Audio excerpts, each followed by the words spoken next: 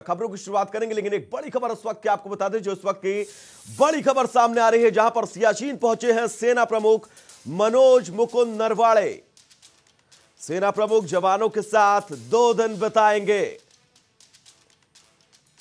जवानों का हौसला बढ़ाने के लिए मनोज नरवड़े पहुँचे हैं सियाचिन। शहीद जवानों को आर्मी चीफ का नमन तो नए आर्मी चीफ ने। सेना प्रमुख का पहला सियाचिन का दौरा और यह तस्वीरें उसी दौरे की आपको बता दें कि सियाचिन पहुँचे हैं सेना प्रमुख मनोज मुकुंद नरवड़े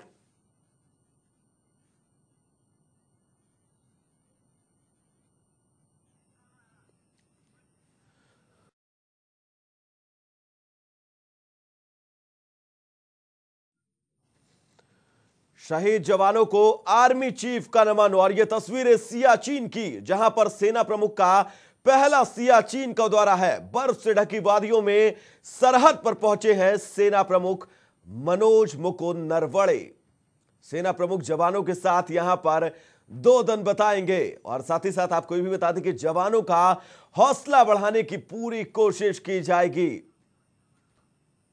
हमारे साथ हमारे सहयोगी कविता जोशी जुड़ी है तमाम अपडेट्स के साथ। कविता, इस दौरे को लेकर क्या कुछ अपडेट्स हैं आपके पास?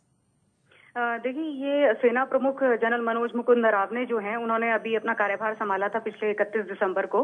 उसके बाद मतलब ये डिसाइड किया गया था इनका कार्यक्रम कि इनका जो पहला दौरा होगा वो सियाचिन का होगा जम्मू कश्मीर का होगा।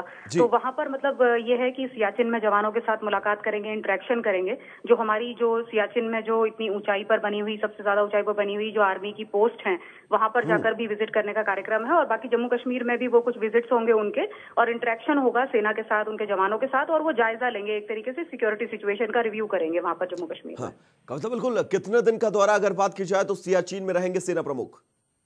देखिए अभी फ़िलहाल दो दिन का ये दौरा बताया जा रहा है जिसमें एक हिस्सा जो है वो सियाचिन की यात्रा से जुड़ा हुआ है और दूसरा जो है उसका वो आगे जम्मू कश्मीर में जो है उनका उनकी यात्रा रहेगी। कविता बिल्कुल वजह की अगर बात की जाए एक तो वजह होगी कि सैनिकों का हौसला बढ़ाएँगे क्योंकि माइनस डिग्री टेम्परेचर में हमारे सैनिक सेना सीमा पर तैनात रहते हैं और क्या कुछ वजह है? देखिए सबसे बड़ी वजह तो यही है क्योंकि जम्मू कश्मीर और खासतौर पर जो सियाचिन है वो देश के लिए सैन्य सामरिक दृष्टि से बहुत ही महत्वपूर्ण क्षेत्र माना जाता है। वहाँ पर हमारी फौज की लंबी तैनाती है लंबी चौड़ी तैनाती है और जो भी मतलब सेना प्रमुख के रूप में जो भी व्यक्ति कार्यभार संभालता है वो दौरा ज़रूर करता है जम्मू कश्मीर का क्योंकि पाकिस्तान के साथ लगातार तनाव की स्थिति है एलओसी पर।